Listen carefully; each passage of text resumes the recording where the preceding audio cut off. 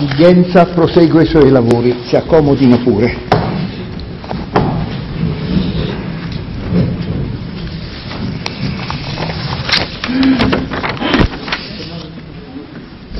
Per il Presidente del Consiglio dei Ministri ha la parola l'Avvocato Paolo Grasso. Grazie Presidente. Eh, anzitutto eh, sottolineo che nella eh, ripartizione eh, della discussione per il Presidente del Consiglio dei Ministri io tratterò oh, le questioni che attengono ai profili di inammissibilità e irrilevanza delle questioni eh, che sono state sollevate e l'Avvocato Massella tratterà dei profili eh, di merito delle singole norme. Bene. E, nel trattare di questi profili ehm, cercherò di concentrarmi eh, su quelle questioni di carattere più generale, diciamo le questioni di eh, inammissibilità che eh, riguardano eh, tutte o quasi tutte le ordinanze di rimessione, eh, con particolare riguardo a, a quanto è emerso dalla discussione odierna per eh, cercare di fissare dal nostro punto di vista alcuni principi sulla materia.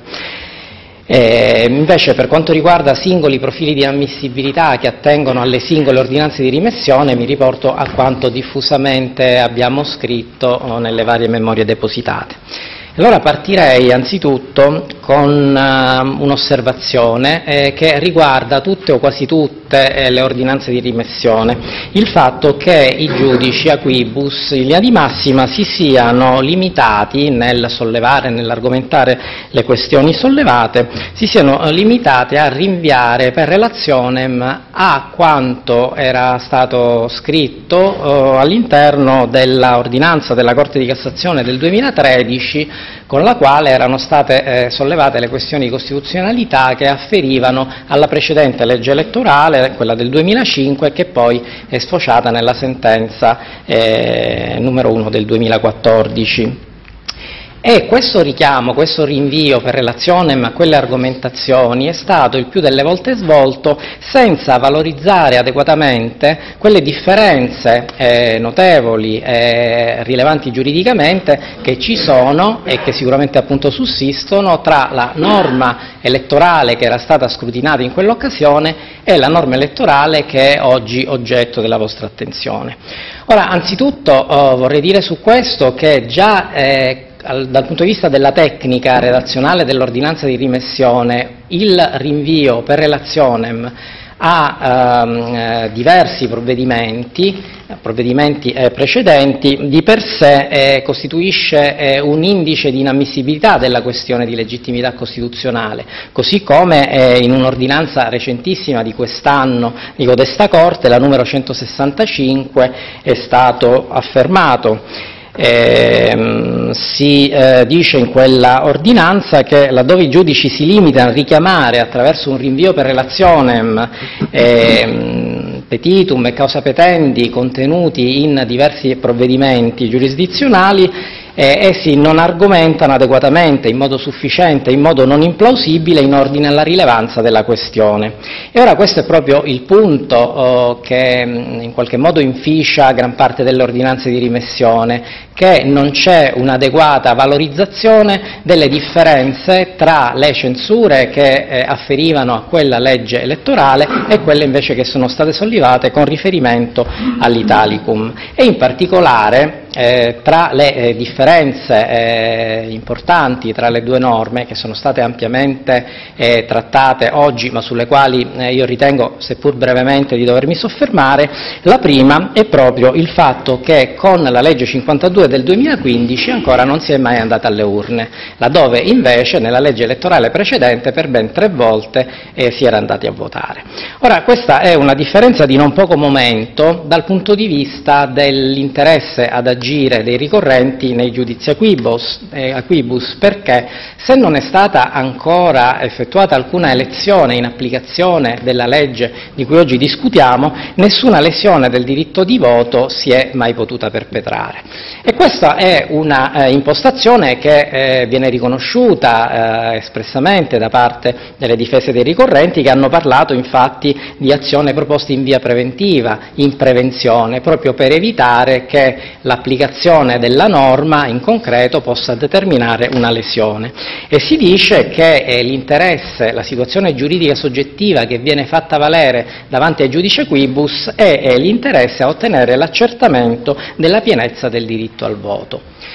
Eh, questa um, impostazione, o meglio l'eccezione di inammissibilità che è stata formulata da questa difesa erariale in relazione a questo profilo è stata eh, oggi eh, contestata in maniera eh, veemente, in, in maniera uh, molto decisa eh, si è detto pure che è una tesi paradossale quella attraverso la quale non si vuole un sindacato della Corte eh, che abbia ad oggetto una norma anche se questa non, ancora, eh, non ha ancora prodotto i suoi effetti. Eppure su questo io mi sentirei di richiamare un precedente recente del 2015, la sentenza 110 appunto di eh, codesta Corte, nella quale è stato espressamente affermato che il mero riferimento all'interesse all'accertamento della pienezza del diritto di voto con riguardo alle future consultazioni elettorali non può essere considerato motivazione sufficiente e non implausibile dell'esistenza dell'interesse ad agire. Dunque, eh, il, la situazione giuridica soggettiva che si vuole far valere nei giudizi da cui eh, promanano oh, le ordinanze eh, di rimessione, eh, se sono situazioni giuridiche soggettive volte all'accertamento della pienezza del diritto al voto, sono situazioni giuridiche soggettive che non sottendono automaticamente anche un interesse ad agire tale da poter richiedere un sindacato di costituzionalità. In ogni caso questo è un profilo che non è stato adeguatamente argomentato e spiegato all'interno delle ordinanze di rimessione e ritorno quindi all'eccezione di inammissibilità perché sono state confezionate senza adeguatamente argomentare sul punto.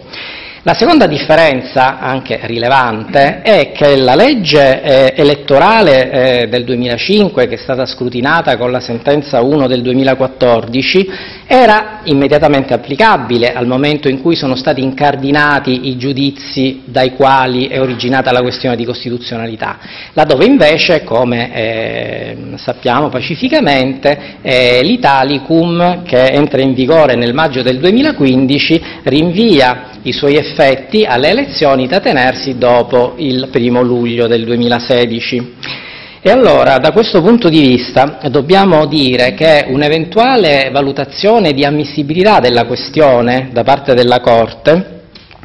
eh, comporterebbe che eh, la Corte si, eh, andrà, eh, che la Corte si pronuncerà eh, su eh, una norma che non è ancora mai stata applicata, su una norma che eh, non produceva i suoi effetti e quindi si atteggerebbe come una sorta di sindacato preventivo di legittimità della norma, prima ancora che la norma abbia prodotto effetti e quindi non sarebbe rispettato quel sistema attraverso cui si giunge alla Corte Costituzionale solo attraverso un giudizio in cui in via incidentale venga sollevata la questione di costituzionalità. In altri termini, l'incidentalità del giudizio presuppone che la norma produca i suoi effetti, abbia prodotto i suoi effetti nel giudizio quo e non è proprio il caso nostro, perché la norma avrebbe prodotto effetti e produrrà effetti solo a partire dal luglio 2016, quindi in data successiva rispetto al momento in cui è stato incardinato il giudizio quo e quindi ehm, questo si traduce in una sorta di irrilevanza della questione. Tant'è vero che, eh, a parte le cinque ordinanze di rimessione che hanno portato oh, alla vostra attenzione eh, la questione oggi, eh, ci sono stati altri tribunali che hanno ritenuto manifestamente infondate eh, le questioni e le hanno rigettate, eh, con ciò oh, sottolineando che effettivamente mh, non si tratta di una valutazione univoca dei giudici di merito, che quella norma, che la norma di cui oggi discutiamo, sia effettivamente tale da poter essere scrutinata dalla Corte Costituzionale anche prima che abbia prodotto i suoi effetti. E allora, in concreto, perché, eh, qual è il vero scopo delle cause che sono state azionate davanti al giudice Aquibus? Il vero scopo è quello di arrivare davanti, di approdare alla Corte Costituzionale. Quindi, ehm, hanno quelle cause un carattere meramente strumentale eh, volte a ehm, chiedere alla Corte Costituzionale di verificare se eh, le norme siano meno incostituzionali senza che ci sia un sostrato eh, di situazione giuridica soggettiva eh, ulteriore e diverso rispetto allo stesso scrutinio di costituzionalità e questo determina un ulteriore motivo di eh, inammissibilità della questione. A questo proposito devo richiamare la stessa uh, sentenza uh, richiamata poc'anzi, la 110 del 2015, che occupandosi eh, anche in quelle ipotesi della soglia di sbarramento per l'elezione al Parlamento europeo, quindi di una vicenda che atteneva ad una legge elettorale, eh, ha affermato molto chiaramente che al di fuori di una vicenda elettorale determinata, quindi specifica, in cui sia dedotta la violazione di uno specifico diritto di voto, non può essere ritenuta ammissibile un'azione con la quale venga richiesto l'accertamento in astratto del contenuto di tale diritto.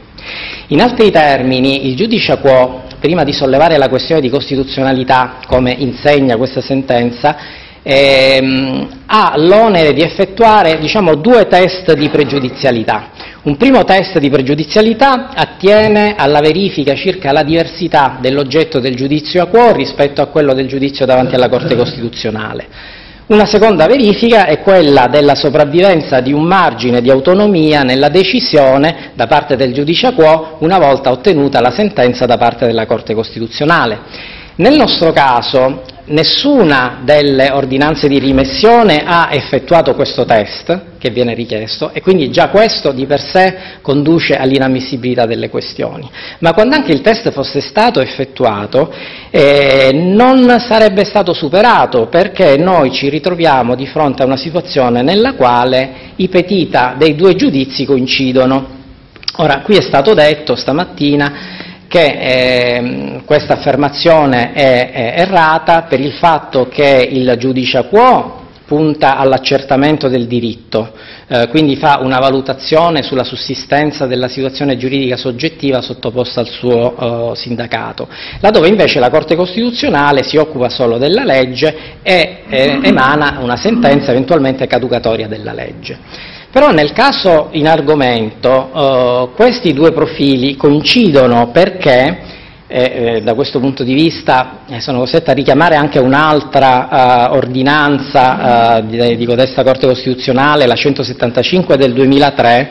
la questione di legittimità costituzionale non deve presentarsi come azione diretta contro la norma censurata, in quanto l'eventuale pronuncia di accoglimento, che è esattamente quella che si chiede in questa sede, verrebbe a concretare di per sé e ad esaurire la tutela richiesta nel giudizio principale al remittente.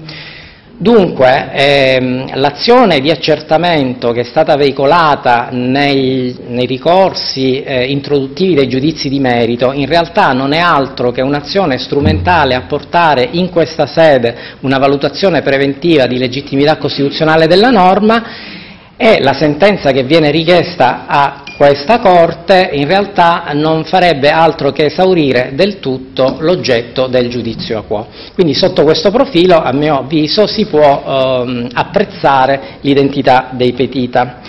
E questa eh, è l'argomentazione sulla diversità dei petita è assolutamente necessaria nelle ordinanze dei giudici eh, remittenti, come noi ad esempio possiamo notare eh, nell'ordinanza del Consiglio di Stato del 2016, sempre sulla questione della soglia di sbarramento nell'elezione del Parlamento europeo, dove il Consiglio di Stato in quell'occasione si è diffusamente dilungato nello spiegare il perché i due petita erano diversi, tant'è che ha detto occorre che i ricorrenti aspirino a conseguire un'utilità di carattere immediato, che in quel caso poteva essere la proclamazione degli eletti o il conseguimento del seggio e così via, che deve essere ulteriore e diversa rispetto a quella di carattere immediato e diretto connessa all'invocata rimozione delle disposizioni sospette di incostituzionalità. Quindi ancora una volta sotto questo profilo, a nostro avviso, le ordinanze di rimessione rivelano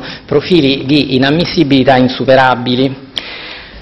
Poi eh, si è aggiunto che eh, ormai questa fatidica data del luglio 2016 è superata, al giorno d'oggi è superata, quindi oggi la norma sarebbe applicabile e come tale questo supererebbe il problema eh, che inficiava, secondo quanto ho appena detto, eh, la, le ordinanze di rimessione. In realtà però ehm, noi stiamo discutendo in questo momento dell'interesse ad agire,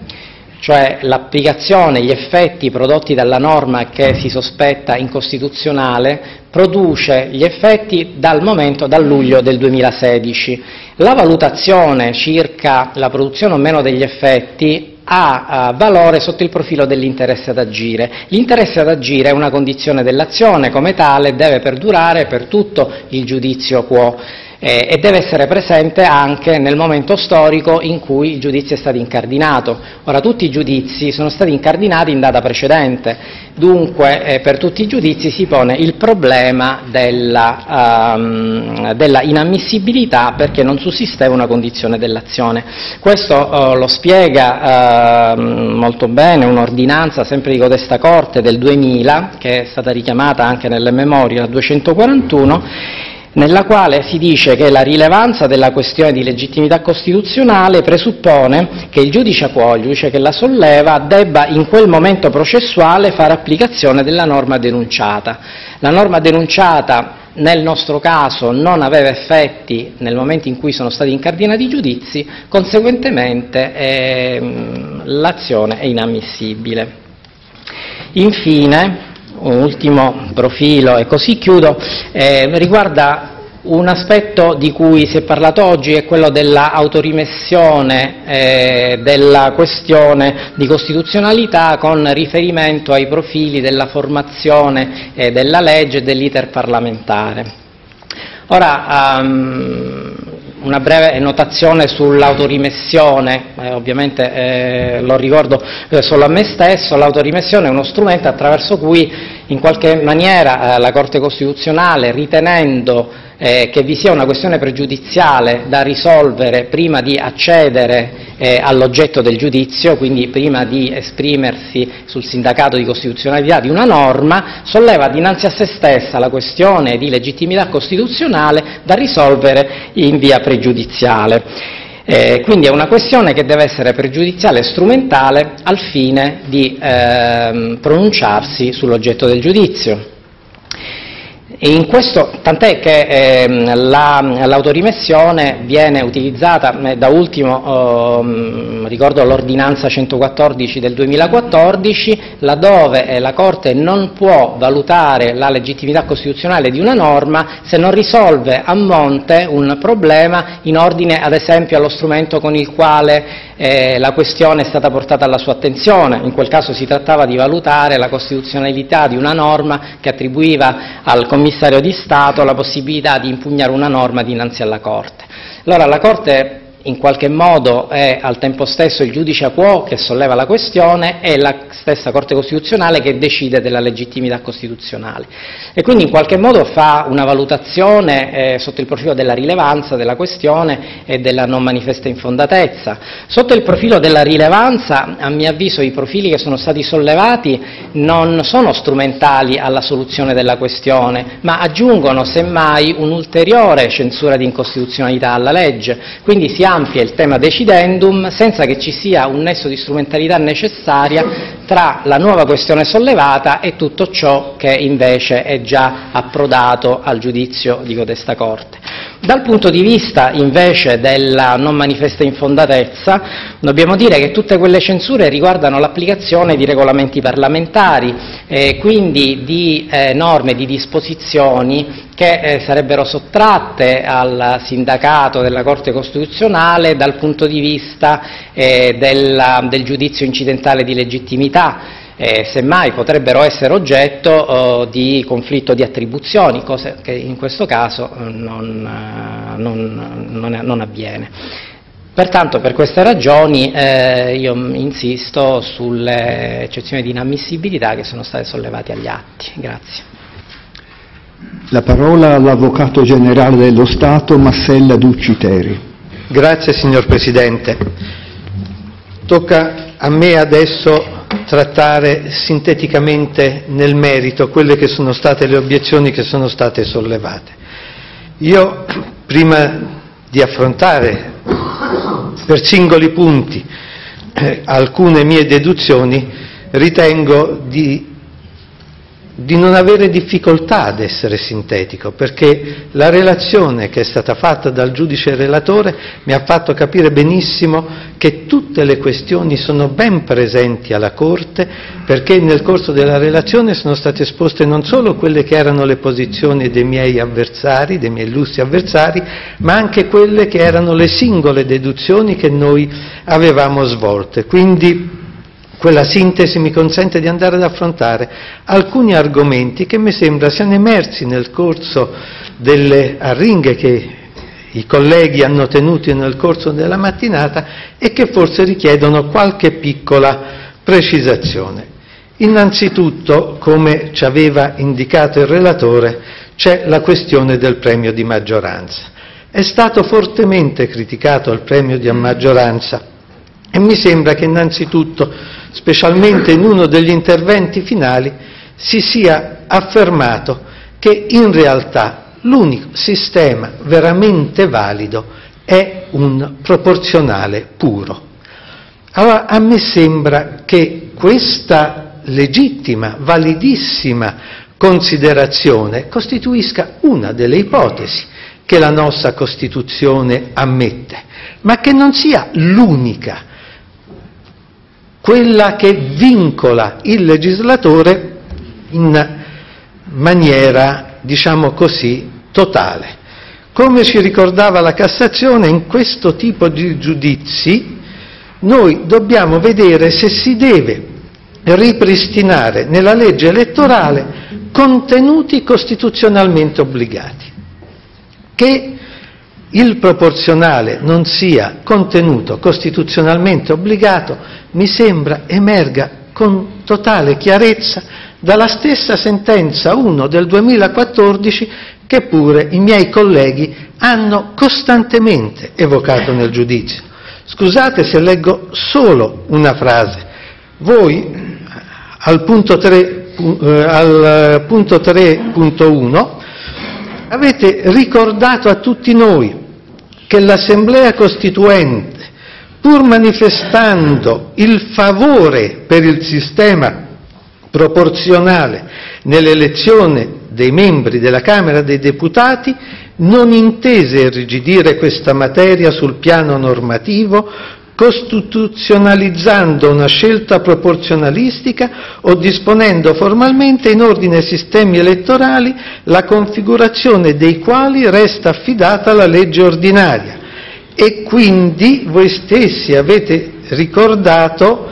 che non c'è un modello di sistema imposto dalla Carta Costituzionale, in quanto quest'ultima lascia alla discrezionalità del legislatore la scelta del sistema che ritenga più idoneo ed efficace in considerazione del contesto storico. Quali i limiti che però avete enunciato con chiarezza che la legge elettorale deve ricordare, mi sembra che ce l'ha detto lo stesso e richiamato lo stesso relatore stamattina, i principi di ragionevolezza e di proporzionalità.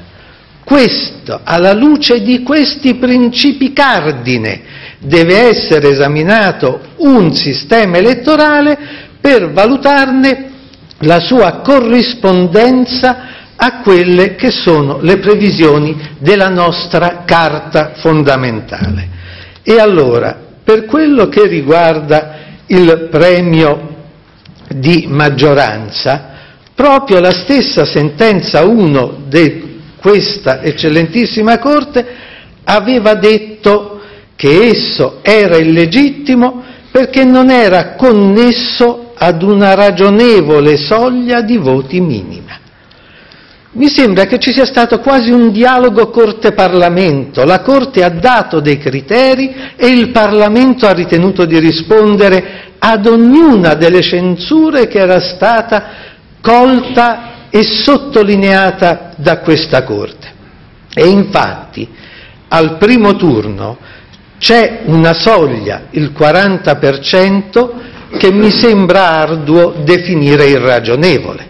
a meno che non si ritenga ragionevole il 49,9% perché è quel voto in più che a quel punto rende ragionevole dare il premio. Veniva chiesto quindi soltanto una ragionevole soglia di voti minimi e mi sembra che a questo sia stata fornita adeguata, ragionevole e proporzionale risposta. C'è la questione del ballottaggio e qui il discorso si innesta un po' anche con quelle che sono stati gli ulteriori profili che la Corte di Genova, il Tribunale di Genova ha ritenuto di richiamare al nostro, alla nostra attenzione. Innanzitutto mi permetto di ricordare che ai sensi della legge che viene qui censurata, il ballottaggio è subordinato ad una doppia valutazione. Innanzitutto bisogna verificare se la lista ha raggiunto o meno il 40%,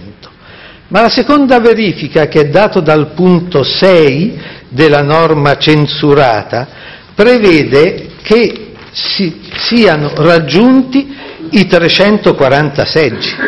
Laddove siano stati raggiunti i 340 seggi non si dà luogo a ballottaggio e quello che anche mi preme sottolineare è che ai sensi di quello che è l'articolo 1, comma 1, lettera F della legge qui censurata, 340 è il limite massimo. A garanzia delle minoranze è sempre garantito un numero minimo di seggi, i 278, perché dice la lettera F che sono attribuiti comunque 340 seggi alla lista che ottiene almeno il 40% dei voti validi. Quindi abbiamo il doppio limite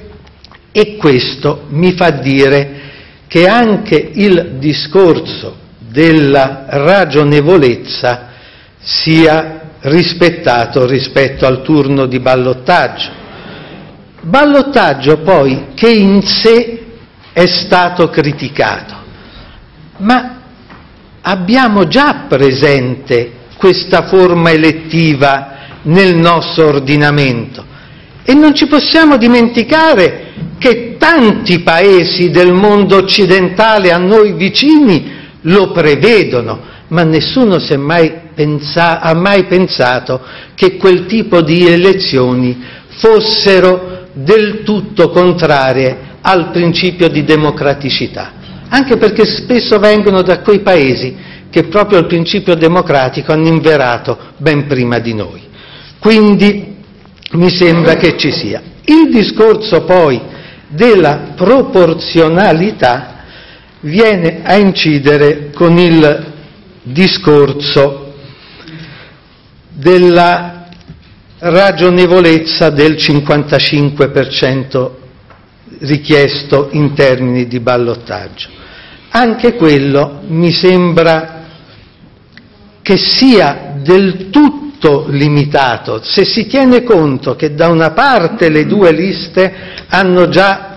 raggiunto la maggioranza nel primo turno tra quelle che hanno partecipato. Sì, si possono fare molte ipotesi, però la Corte ci richiama all'attuale contesto storico e nel momento in cui è stata adottata la legge. E in quel momento non era irragionevole per il Parlamento prevedere che non si sarebbe avuta quella polverizzazione di liste che avrebbe portato ad alcune ipotesi che vengono illustrate nel, nella, nelle memorie dei miei avversari e che sono state prospettate. Nel momento in cui il ballottaggio è ritenuto ammissibile e io non ho rinvenuto alcuna norma della Costituzione che lo vieti, anche perché siamo in un giudizio di legittimità, non di merito di quale sarebbe la legge preferibile. Qui stiamo valutando una legge in concreto e se è legittima alla luce dei canoni dell'attuale Costituzione vigente. Nessuna norma della Costituzione impedisce il ricorso al sistema del ballottaggio, che esistendo, come ho già detto, nell'ordinamento è del tutto legittimo e quindi è manifestazione di uno Stato totalmente democratico, di uno Stato che, come ha detto un grosso professore che abbiamo citato nelle nostre memorie, deve anche saper scegliere, perché il ballottaggio, come ha insegnato il professor Sartori, vuol dire anche capacità di scegliere. E questo è un, un requisito, che è quello poi della governabilità,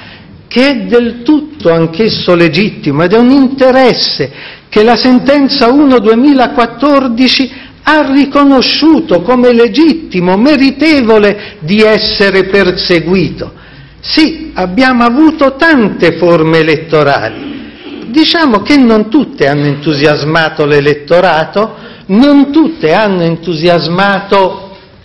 il Parlamento che ha ritenuto di modificarle perché in quel determinato momento storico riteneva preferibile altri sistemi elettorali purché legittimi, ragionevoli e proporzionali nei sacrifici che venivano fatti. E questo mi sembra che sia stato fatto anche con il 55%, perché a colui che raggiunge il 50 più uno dei voti viene dato solo un 5% in più. E mi sembra cifra minima e ragionevole. Da ultimo, e con questo chiudo sul discorso dei voti, il discorso dell'auspicio del sistema omogeneo tra Camera e Senato. È un auspicio assolutamente legittimo che in qualsiasi momento il Parlamento potrà perseguire. Mi sembra però, come abbiamo illustrato nelle nostre difese, che sia da come la stessa Costituzione prevede la composizione dei due organi, che nascano delle ineluttabili differenze, a partire da quello che abbiamo esposto della base regionale. Ma io vorrei richiamare un altro aspetto che forse ci è sfuggito nelle memorie e che può apparire nuovo e che vale anche con riferimento al voto in uscita. A me sembra che non si possa dimenticare che per quello che riguarda le elezioni del Senato, l'articolo 57 della Costituzione prevede espressamente che nessuna regione può avere un numero di senatori inferiore a sette. Questo vuol dire che in alcune regioni che hanno una minor popolazione al loro interno, ma perché di minori dimensioni, comunque il numero di sette debba essere garantito. Questo vuol dire che evidentemente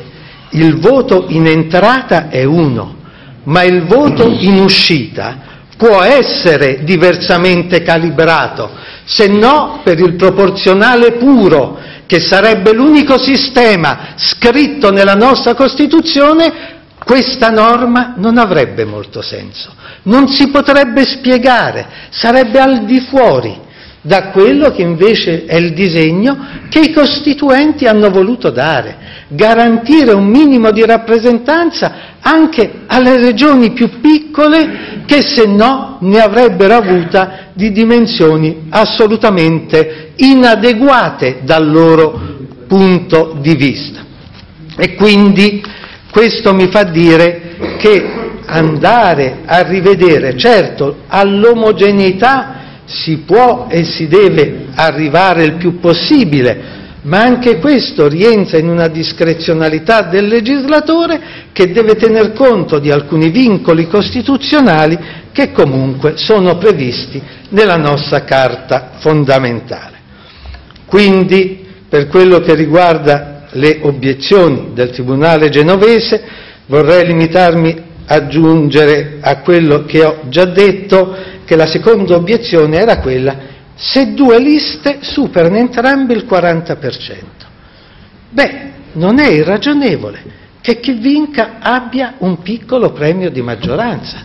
Non è che viene stravolto, bene o male, proprio per quel principio di governabilità si è ritenuto di riconoscere a queste due liste che entrambe hanno il 40 ad una la possibilità di avere una più solida base parlamentare e questo è stato fatto riconoscendo un limite che, ripeto, è sempre quello dei 340 seggi. La questione dei capilista. Anche qui io dico la verità, non ho trovato qual è il canone della Costituzione che impedisce la possibilità ad un candidato di essere presentato in più collegi. Tant'è che è una norma che abbiamo dal 1945, non è un'invenzione della recente legge, è dal 1945 che esiste questa possibilità. Anche lì sono stati indicati dei limiti. Nella stessa sentenza 1 del 2014 è stato detto guardate, va bene i capolista bloccati, però in un sistema che complessivamente tenga, in cui si può riconoscere che alcuni, diciamo così, possano avere una garanzia, ma gli altri, la maggioranza, sono eletti dal corpo elettorale. Tant'è, mi sembra che la scelta fatta sia totalmente in linea e rispettosa di quello che è stato detto dalla Corte con la sentenza 1-2014. Infatti, i candidati vengono scelti in collegi elettorali di ridotte dimensioni. Non abbiamo collegi immensi, sono numerosi. Vi è un mix tra candidature bloccate e preferenze e poi la possibilità delle candidature multiple è limitata. Quindi io ritengo che anche per quello che riguarda il discorso dei capilista si siano rispettati quei canoni di ragionevolezza e proporzionalità che erano stati sottolineati, richiamati come ineludibili da questa eccellentissima Corte nel 2014. E poi torno sul punto. A me non sembra che quel principio sia vietato dalla Costituzione. È, es- è in verità, mi pare, esatto il contrario. Vale a dire che è ammesso liberamente la possibilità di essere presentati entro certi limiti in più collegi e quando questo obiettivo non si vuole raggiungere deve essere espressamente detto. Tant'è che laddove il legislatore non l'ha voluto l'ha detto. Mi riferisco all'articolo 20 bis della legge per l'elezione del Senato, dove è detto che per il Trentino Alto Adige è il divieto espresso del candidato di essere in più collegi. Quindi laddove si è voluto limitare si è dovuto dire per legge, se no esisteva la libertà di potersi presentare in più collegi. Quindi mi pare che l'ordinamento smentisca anche questo. Da ultimo la questione del Trentino Alto Adige. Questa veramente è parsa molto complicata anche a me e io mi scuso con tutti se forse non ho capito non ho capito i termini, ma non ho capito la rilevanza, alla luce di quel che dice la legge che viene censurata. Qui c'è stato probabilmente un errore. È stata dedotta l'illegittimità dell'83,1,3, eh, eh, ma la materia è disciplinata dal comma 6. E il comma 6, con riferimento a quello che mi è parso di cogliere, ma posso aver capito male, che ci potrebbero essere riflessi sulle liste nazionali. No, il comma 6 lo dice con chiarezza che i voti espressi nelle circoscrizioni del Trentino Alto Adige valgono sia a determinare il 40%, valgono sì per determinare il 3%, ma, ultima linea, essi non concorrono alla ripartizione dei seggi assegnati nella restante parte del territorio nazionale. Sono sterilizzati al Trentino. L'unico effetti che essi hanno a livello nazionale, che quindi assume rilevanza per l'elettore genovese, perché l'elettore ligure ha interesse a sapere se il suo voto può, avere, può essere in parte condizionato dal resto della numerosa popolazione delle province di Trento e Bolzano, di cui sono note i milioni di abitanti e di elettori. No, non concorrono. La legge lo dice, essi non concorrono alla ripartizione dei seggi assegnati nella restante parte del territorio nazionale. Quindi è un ulteriore profilo in base al quale c'è quella mancanza di interesse che rende inammissibile la questione sollevata dal Tribunale di Genova. Io mi scuso delle numerose lacune e della frammentarietà della mia esposizione, ma proprio perché la Corte e il, il relatore che ad essa riferirà hanno esposto così magistralmente quelle che sono le altre posizioni illustrate dall'Avvocatura dello Stato nelle sue ampie memorie, sì, 27 di inammissibilità ma 65 di merito, io chiedo che venga confermata la legittimità costituzionale della legge e comunque che venga dichiarata l'inammissibilità e l'infondatezza di tutte le questioni sollevate. Grazie. L'udienza è conclusa.